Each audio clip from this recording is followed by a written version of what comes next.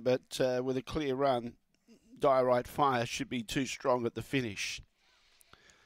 Just depends on how Just Madge jumps and whether she can get a break on him. Green light on. No more bets. Set to go. Ready now away. Favourite began any fair. Just Madge was slow away. Now shifting up the track. Laurie Rowe began well. Cleaned up there was Just Madge knocked out of the race and also badly checked. There was Emily Circuit. In front, Laurie Rowe. Juice Box won really well. Diorite Fire getting closer with every stride. Big danger. They're clear of the others. Joffers Galaxy. Donovan Bale getting up on the inside. Diorite Fire too strong. Beats Laurie Rowe. Third was Joffers Galaxy. Fourth was Donovan Bale. Just Madge copped that check early and so did Emily Circuit at the tail end of the field, and the run was 22.82. Too strong, too powerful.